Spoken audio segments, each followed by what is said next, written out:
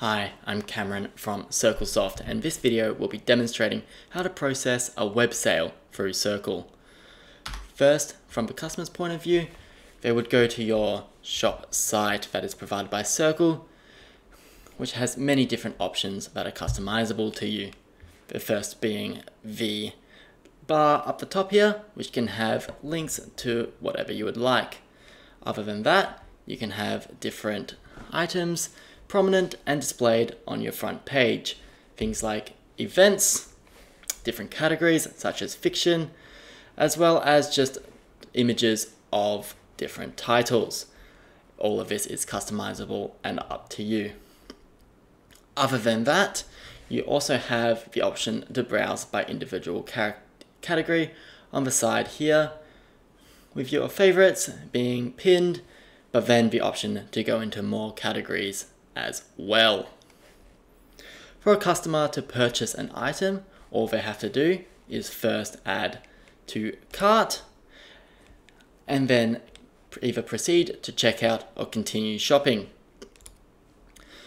The cart also, or the site also has the title of the book, the cost, and if you have given that particular customer's account a discount, that will show up here as well.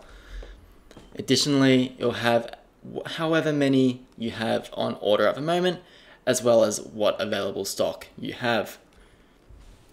This allows customers to add either a click or collect or an, a wish add to wish list, which will then send a notification to you that they are interested and you can get back to them once it comes in stock.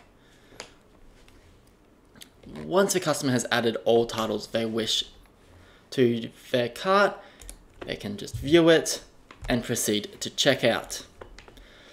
This will first come up with their shipping address and customer account. I'm already logged in as me, um, so it will it's coming up as mine.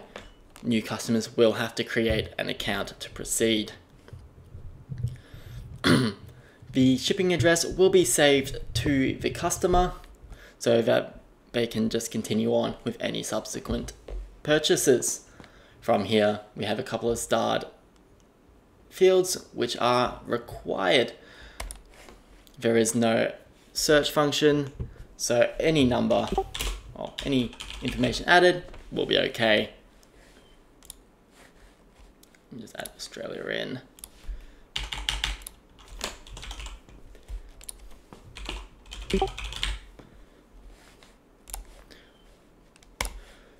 Once saved, the customer will then have the option to review the shipping address, add any notes necessary, i.e. if they would like gift wrapping if offered,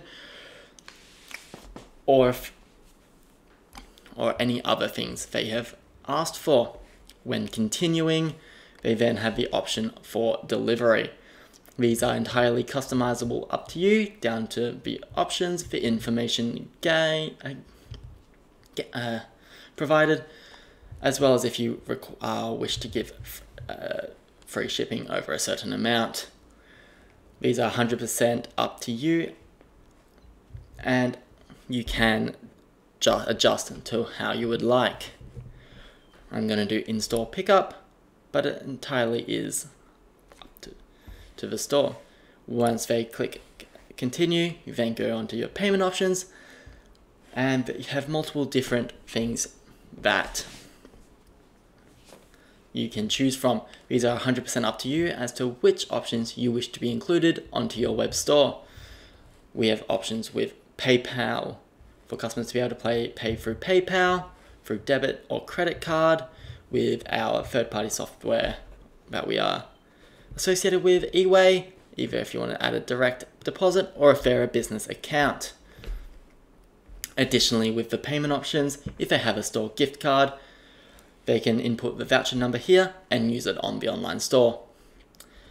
Along with that, if your store does offer loyalty, it is also 100% linked to the customer account and can also be used on your online store. Once a payment option has been chosen, customer just has to click continue, review the order, accept terms and conditions and a CAPTCHA, and just place the order.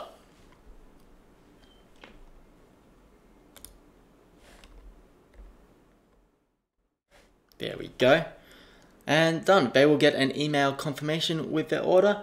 And next, it will go to your back office for you to fulfill.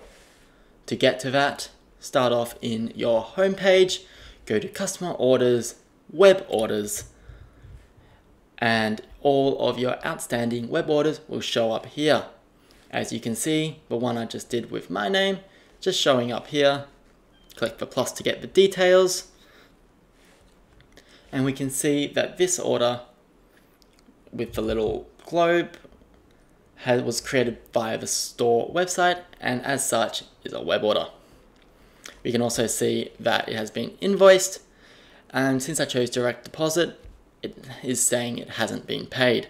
That being said, if the customer does pay via voucher, loyalty, or with a card, there will be a tick next to that. From there, all you have to do is go out to your shelf, make sure you can find the book, and just scan pick it, telling the system that you have indeed found that order. From here, to finalize it once they have picked it up or you are shipping it out, tick the box that you wish to finalize, and down here where it says ship picked items, click ship.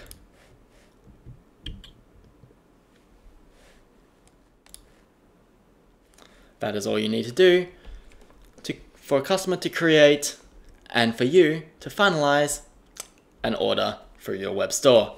I hope this has been helpful. Thank you. Bye.